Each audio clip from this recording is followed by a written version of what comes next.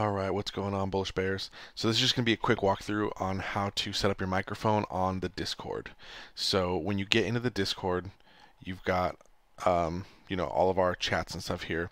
So when you're trying to get into the voice, into the main trade room here, um, if your microphone is not working when you click into it, here's how you set up the push to talk.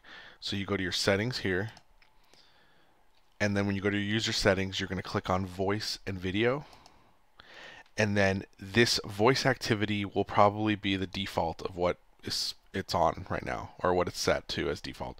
So you want to click over to the push to talk and then here in the shortcut um, this should either be blank or say I don't remember exactly what it says in it but you're going to want to click into this to this keybind here till it says recording and then you pick the key on your keyboard that you want to use for push to talk. So for me, I'm using my, the number five on my number pad, but you can use pretty much any key you want. So this is number three or whatever. I'm switching it back to number five.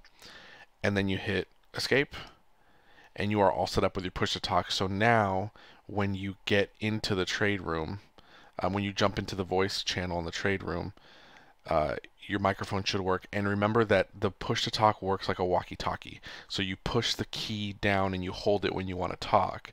And then when you release the key, it turns your microphone off. So every time you want to talk, you have to push it. But that's how to set up the push to talk.